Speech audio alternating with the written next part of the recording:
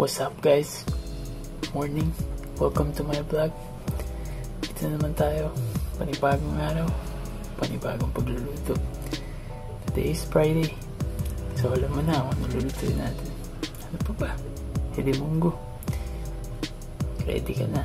Kung di ka pa nakasubscribe sa akin, subscribe ka na. So tara, start tayo. See you in 3, 2, 1. Oops, buti ko na makalimutan.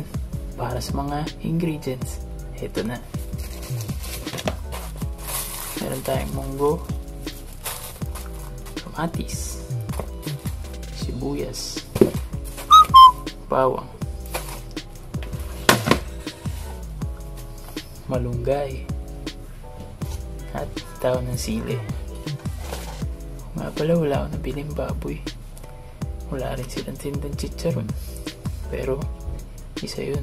Sa kailangan nyo idagdag. Pero dahil wala tayo nun, pure gulay lang tayo ngayon. Tara na!